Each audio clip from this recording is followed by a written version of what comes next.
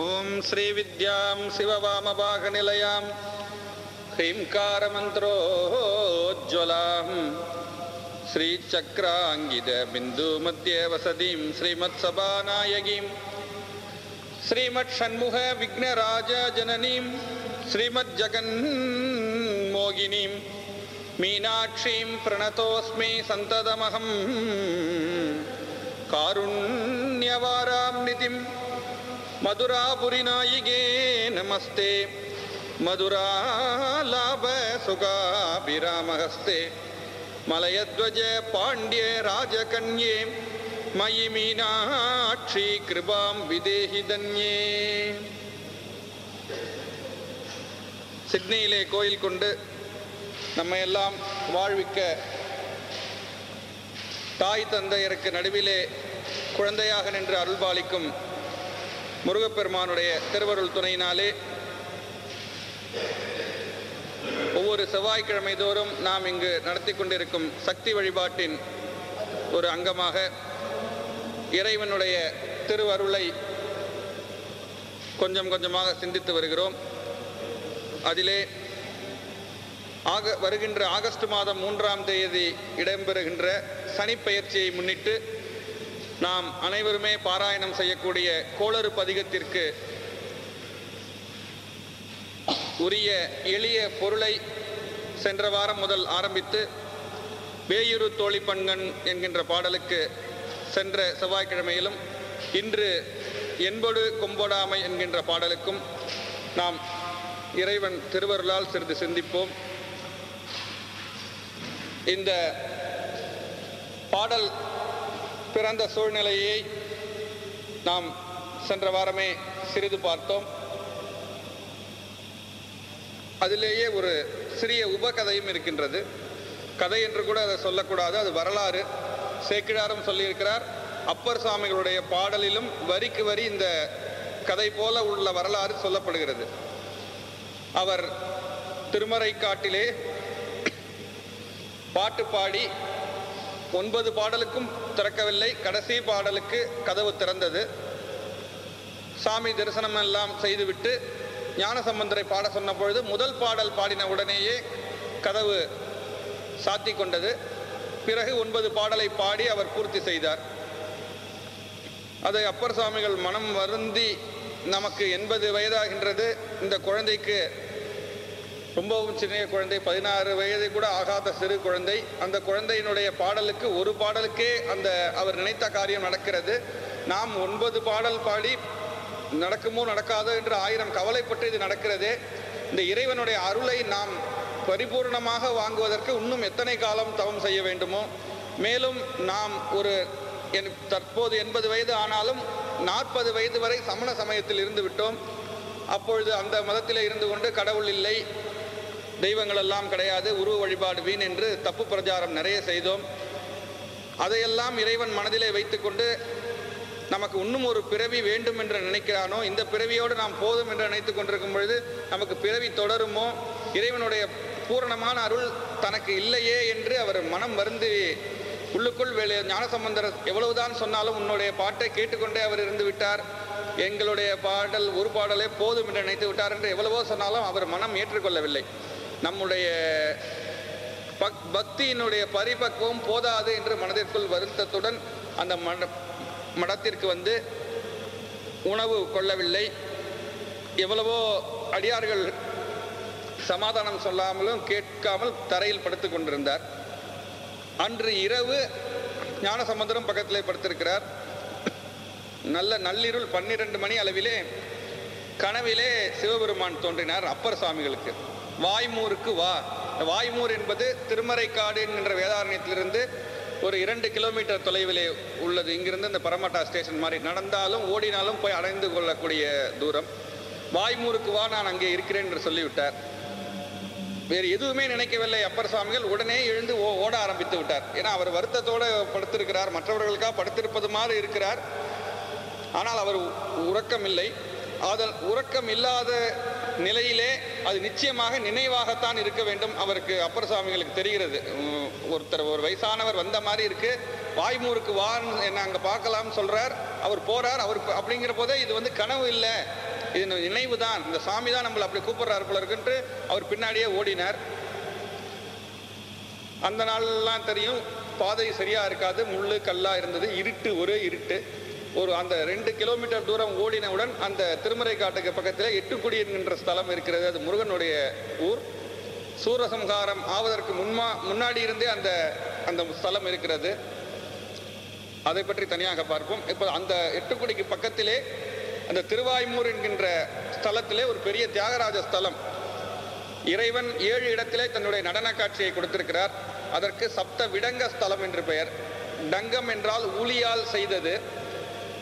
உளியே செய்யாமல் சுவாமி சுயம்பாக தோன்றிய இடம் ஏழு இடம். அதை சப்த விடங்க ஸ்தலம் என்று தலைமை ஊராக திருவாரூரையும் மற்ற ஆறு திருத்தலங்கள் அதை சுற்றியும் இருக்கிறது. அதிலே ஒன்று இந்த திருவாய்மூர் என்கின்ற ஊர். திருமறைக்காடாகிய வேதாரண்யமும் அந்த ஏழு ஊரிலே ஒன்றுதான். அந்த திருவாய்மூருக்கு வருகிறார். பெரிய கோவில் தெரிகிறது. விநாயகர் சன்னதி முருகன் சன்னதி எல்லாம் இருக்கு. அம்பாள் சன்னதி பாலின் மொழியால் என்று பெயர் அங்கே உள்ள இறைவிக்கு பெயர். அது இருக்கு. சுவாமி சன்னதி தெரிகிறது. திடீரென்று எல்லாம் மறைந்து விடுகிறது காட்சி. சுத்தி ஒரு நல்லா கண்ணுக்கு நேரம் நல்லா தெரிஞ்ச மாதிரி இருக்கு. ஆனா தெரியலையே. அப்படின்ற சுற்றுமுற்றும் பார்க்கிறார். நம் கனவுல எழுந்து இவ்வளவு தூரம் ஓடி வந்துட்டோமா? நினைவுலேயே இருக்கோமா? நல்லா கிள்ளி பார்த்துட்டா இருக்குங்கிற போதே ஞான சம்பந்தரும் வந்து விட்டார். ஏன்னா இவர் பக்கத்துல படுத்துட்டு இருந்தவர் திடீர்னு வயசானவர் எழுந்து ஓடுறாருங்கிற போது ஓட்டந்தேன் ஓடி வந்தேன்னே சொல்றாரு அந்த தேவாரத்துல. நடந்து வரலன்னு. அவர் வந்தோடனே இவரும் கூட வந்து பக்கத்துல நின்றுட்டார் அப்போதான் அப்பர் சாமியால் கதறார் எனக்கு என்ன வந்து உலகத்தவரெல்லாம் பைத்தியம்னு நினைக்கிற அளவுக்கு நீ நடத்துட்டியே இப்போ தெரியுது வா வாய்முறுக்குன்னு கூப்பிட்டேன். ஆனால் இங்கே வந்து பார்த்தா ஒன்றுத்தையும் கண்ணுக்கு நேரம் பார்த்தேன். மற்றவங்களுக்கு சொல்ல தெரியலையே. இது கடவுள் என்ன ஒரு இடமும் ஒன்றும் தெரியல. ஒரே இருட்டாக தான் இருக்குது கோவிலும் தெரியல ஒன்றும் தெரியல. இப்போ சித்த முன்னாடி பார்த்தது காட்சி கனவா நினைவா? நமக்கே அதிகமாக இறைவனை நினைத்து நினைத்து சித்த சுவாதீனம் இல்லாத நிலைக்கு வந்துட்டோமா? அல்லது செஞ்சடை இவர் பித்தரேன்னு அந்த பாட்டிலே சொல்கிறார் அப்போ தன்னுடைய அனுபவத்தை எல்லாம் திருக்குறுந்தொகையிலே சொல்றார். உள்ளி உண்ணி உறங்குகின்றேனுக்கு தனக்கு வாய்மூர் தலைவன் நாமா சொல்லி என்னை வாவென்று அழைத்தான் என்கொலோ. முதல் பாட்டில் சொல்றார் என்னை வான்னு கூப்பிட்டார். ரெண்டாவது பாட்டில் அங்கே வந்து பார்த்தேன் கோவில்லாம் தெரிஞ்சது. ஆனால் ஒரு நிமிஷத்தில் எல்லாமே மறந்து போயிடுது மூணாவது பாட்டில் ஓட்டந்தேன். நாலாவது பாட்டில் சொல்றார் செந்தமிழ் உர உறக்க திறக்க பாடிய எண்ணிலும் செந்தமிழ் உரைப்பு பாடி அடைப்பித்தாரும் வந்தார். நான் வந்து கதவை திறக்கிறதுக்கு ஒம்பது பாட்டு பாடினேன். ஒம்பது பாட்டு கேட்டு இருந்துட்டு கடைசியில் திறந்தீங்க. அதனால என்னை பிடிக்கல போல இருக்குன்னு மனசில் நினச்சிருந்தேன். ஆனால் தமிழோட உரைப்பை பாடின ஞானசம்பந்தரும் பக்கத்தில் நிற்கிறார் எனக்காக இல்லைனாலும் அவருக்காவது கதவை திறக்கலாமே கோவில் தெரியலாமே ஒன்றுமே தெரியலையே. அப்படின்னு சொல்லி இந்த ஒன்பது பாடலும் அவரை அந்த அவருடைய மனநிலை என்னங்கிறது அப்படி எளிய தமிழில் அந்த தேவாரத்தில் அது மாதிரி வேற பாடல் எதுவுமே இல்லாது. நீங்கள் வீட்டில் போய் எடுத்து பார்த்தா தெரியும் தன்னுடைய மனநிலை என்னங்கிறத அப்படியே சொல்கிறார் அப்பர் சுவாமிகள். கடைசியில் வேண்டுதல் மூலமாக தான் நான் இறைவனுடைய கருணையை பெற முடியும் என்று இருக்கு. ஏதாவது ஒன்று செஞ்சுட்டு ஒரு விளக்கு போடுறேன் பூமாலை பூ மாலை கோயிலை பெருக்கி சுத்தம் பண்ணுறேன் எனக்கு இந்த காரியத்தை செய். நான் காவடி எடுக்கிறேன் பாலாபிஷேகம் பண்ணுறேன் நம்ம வேண்டிக்கிறது நமக்கு அந்த நாள்லேருந்தே ப பழக்கம். அதில் அந்த ப- அந்த தேவாரத்தில் உள்ள பிரார்த்தனை வாய்மூர் விளக்கினை தூண்டி கொள்வேன் அப்படிங்கிறார். நான் விளக்க தூண்டி உனக்கு விளக்கு போடுறேன் ஐயா. அப்போவாது எனக்கு க- தரிசனம் பண்ணக்கூடா இருக்கக்கூடாதா அப்படிங்கிற போது அப்போ அந்த கோயில் மறுபடியும் நல்லா காட்சி தெரிஞ்சது. அவரிடம் இறைவனுடைய விளையாட்டு. அப்போ தான் அந்த பொருந்தாத செய்கை பொலிய கண்டேன்.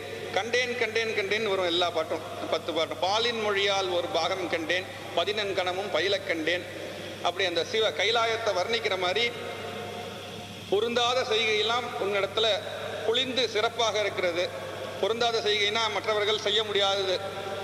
சுடுகாட்டு சாம்பல் எடுத்து யாரும் பூசிக்க முடியாது சுடுகாட்டில் போய் இருக்க முடியாது. இந்த எலும்பு இந்த ரெண்டாவது பாட்டில் கூட என்போடு கொம்போடாமை இவை மாறு விலங்கன்னு வருது. அதெல்லாம் எடுத்து நம்ம கழுத்தில் போட்டுக்க முடியாது. போட்டுட்டாலும் அது விகாரமாக இருக்கும். ஆனால் அவருக்கு அது பொருந்தி பொலிவாக இருக்குது இறைவனுக்கு.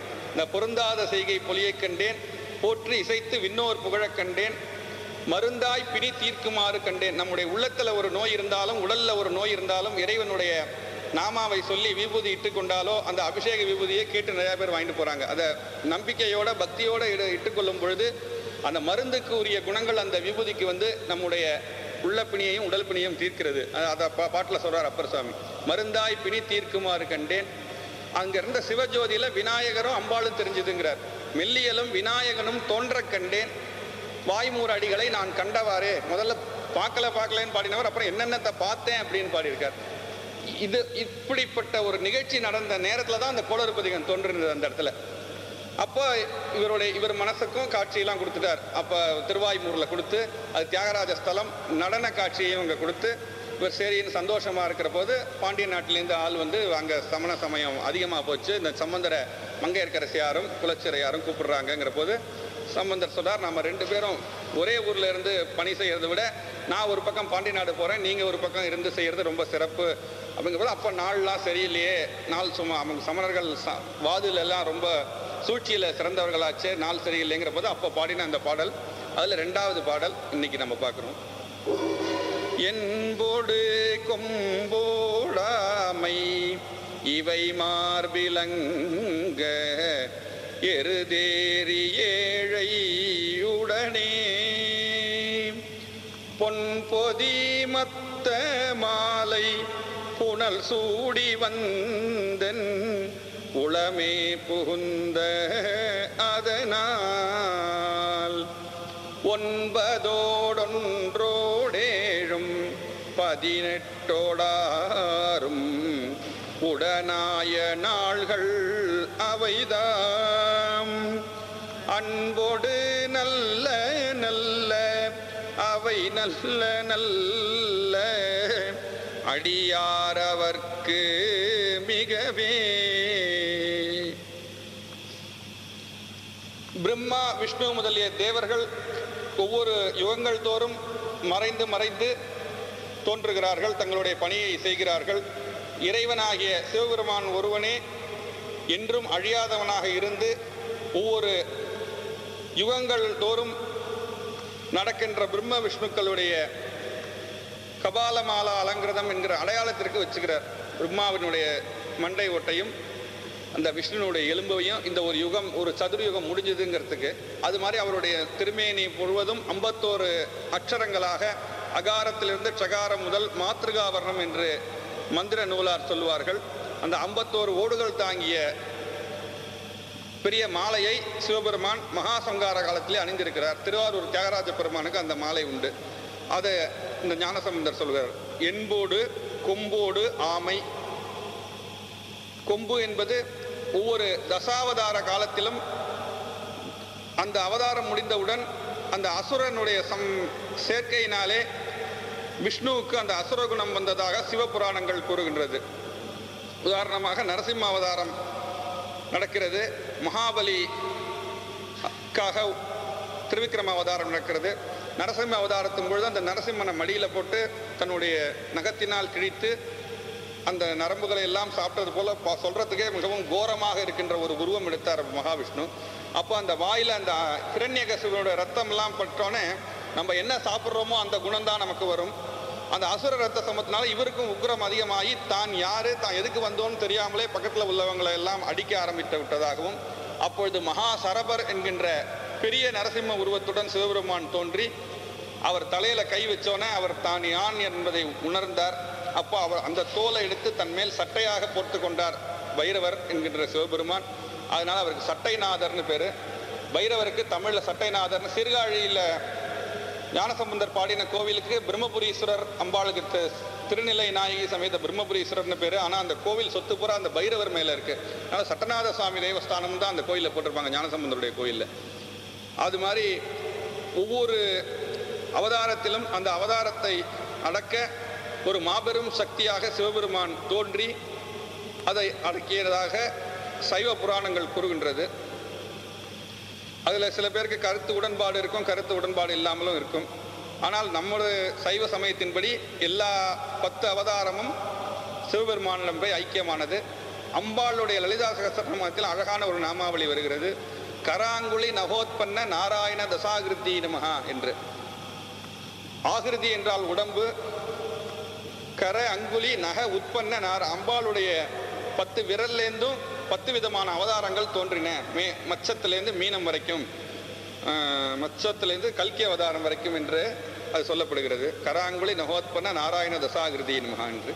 தோன்றிய இடத்திலேயே பிரிவி லயமாகுவது போல் அம்பிகைக்கும் மூலமாக உள்ள சிவபெருமானிடம் போய் லவமா லயமானதாக சிவபுராணங்கள் கூறுகின்றது. அதைத்தான் இந்த ஞானசம்பந்தர் சொல்றார். என்போடு கொம்பு என்பது பூ வராகர் என்கின்ற பூமியிலேயே தூக்கி பிடித்த வராகமூர்த்தியினுடைய பன்றியினுடைய கொம்பு. ஆமை உங்களுக்கு தெரியும். பார்க்கடலை கடைத்த பொழுது அந்த மலை சாஞ்சிடுத்து அப்போ வந்து பெரிய ஆமை உருவமாக வந்து அந்த மலையை தூக்கி பிடித்தார். அந்த பார்க்கடல்லாம் முடிஞ்ச பிறகு அந்த ஆமைக்கு கர்வம் ஏற்பட்டு கடலையே கலக்க ஆரம்பித்த பொழுது சிவபெருமான் தோன்றி இந்த ஓடு வேற அது வேற பிரித்து எடுத்தார். ஆமைக்கு அந்த ஓடு தான் ரொம்ப முக்கியம். அந்த ஓடை ஞாபகார்த்தமாக அணிந்திருக்கிறார். என்போடு கொம்போடு ஆமை இவை மார்பிலங்க எருதேறி ஏழையுடனே. ஏழை என்பது பார்வதியை குறிக்கின்றது பெண்களுக்கு தோகையர் பாவையர் என்கிறது போல அந்த ஏழைங்கிறது அந்த பெண்ணை குறிக்கிறதுனால அம்பாலோட இருக்கார். எருது ஏறி ரிஷப வாகனத்தில் ஏறி பொன்பொதி மத்த மாலை அந்த சிவபெருமானுக்கு பிடித்தமான ஒரு புஷ்பம் ஊமத்தம்பூ என்று சொல்வார்கள். இப்படி புனல் மாதிரி இருக்கும் பெரிய பெரிய பூவாக இருக்கும். அந்த பூவில் வாசனை இருக்காது. அந்த சம்ஸ்கிருதத்தில் உன்மத்தம் என்ற தமிழில் ஊமத்தம்பூ சம்ஸ்கிருதத்தில் உண்மத்தம்பூன்னு பேர் உன்மத்த புஷ்பம்னு. அது தலையில் வச்சுருக்கார் அந்த ஊமத்தம்பூவை சாப்பிட்டாலே நமக்கு கொஞ்சம் கிறுகிறுன்னு தலையை சுத்தம் மனசில் உள்ளதெல்லாம் உலர ஆரம்பிச்சிருவோம். அது மாதிரி ஒரு அது உள்ளக்குள்ள போதையான ஒரு பூ அது. ஏனென்றால் உள்ளத்தில் உள்ளதெல்லாம் வந்து சாதாரண நிலையில் யாருமே சொல்கிறது இல்லை தன்னை மறந்த நிலையில் தான் எல்லாருமே சொல்கிறது அதில் அது மாதிரி அந்த பூ அந்த சங்கராச்சாரியார் பரம்பரையில் கூட ஒருத்தர் இருந்தார். அவருக்கு வந்து நம்ம இப்போ சாதாரண நிலையில் இறைவனை பற்றி ரொம்ப பா பேசுகிறோம் அதுவும் நாலு பேருக்கு முன்னாடி நல்லா பேசுகிறோம் நல்லா செய்கிறோம் ஆனால் உண்மையிலே நம்ம மனசில் இறைவனுடைய எண்ணம் இருக்கிறதா? நமக்கு கடவுள் பக்தி இருக்கான்னு அவருக்கு சோதிக்கணும்னு ஒரு ஆசை. தன்னுடைய ரொம்ப பிரியமான சிஷ்யர்கள் எல்லாம் கூப்பிட்டு நாலு பேரை வச்சுட்டு நான் இப்போ நம்ம அந்த ஊமத்தம்பூவை தின்னு சாப்பிட போகிறேன் அது சாப்பிட்ட அப்புறம் நான் என்னென்ன சொல்கிறேனோ அதெல்லாம் நீங்கள் குறித்து வச்சுங்க. அப்புறம் இது மாற்று மருந்து இன்னொன்று இருக்குது அரை மணி நேரம் கழிச்சு அதை கொடுத்தீங்கன்னா அது நான் தெளிஞ்சிடுவேன். அப்போ நான் என்ன சொன்னேங்கிறத நானே பார்க்கணும். ஆனால் நீங்களா வேற ஒன்றும் எழுதிடாதீங்க. நான் சொல்கிறத மட்டும் எழுதுங்கன்னு சொன்னேன். சரின்னு அவருக்கு அந்த அந்த ஊமத்தம்பூவை நிறையா கசக்கி சாறு பிழிஞ்சு கொடுத்தாங்க. அதை குடித்ததுக்கப்புறம் சிவ மகிம்ன ஸ்தோத்திரம்னு சிவபெருமான் மேலே ஒரு ஐம்பத்தோரு ஸ்லோகம் அவர் சொன்னார். அந்த மயக்க நிலையில திருப்பிட்டு பார்த்தாக்க இந்த புஷ்பதந்த உவாச்சன ஆரம்பிக்கிற ரொம்ப அழகான சிவனுடைய ஸ்தோத்திரங்கள் 51 இருந்தது. அந்த சிஷ்யர்கள் எல்லாம் எழுதினது. அப்போ அவருக்கு ஒரு சமாதானம் நமக்கு வந்து மயக்க நிலையில் கூட சிவன் நினைப்பு தான் இருக்குது வேறு நினைப்பு இல்லை அப்படின்ட்டு அந்த புஸ்தகத்துக்கு உண்மத்த சேகரம் அப்படின்னு அது வச்சிருக்காரு. அந்த நூல் ஒன்று இருக்குது அது மாதிரி அந்த ஊமத்தம்பூவை இறைவன் தலையில் வச்சிருக்கார் பொன்பொதி மத்த மாலை புனல் சூடி வந்து கங்கையை பகீரதனுடைய தவத்திற்காக கங்கை ரொம்ப வேகமாக வந்த பொழுது அதை யாராலையும் தடுத்து நிப்பாட்ட முடியல. இறைவன் தன்னுடைய ஜடாமகுடத்தில் அதை தாங்கி தேவையான போது கொஞ்சம் கொஞ்சமாக விட்டார். ஆகையினால் நதி சூடி புனல் புனல்னாலும் தண்ணீர் தான். புனல் சூடி வந்து என் உள்ள உளமே புகுந்தன் அதனால் இந்த கோளறுபதிகம் ஒன்பது பாடல்லையும் என்னுடைய உள்ளத்தில் அவர் இருக்கார்.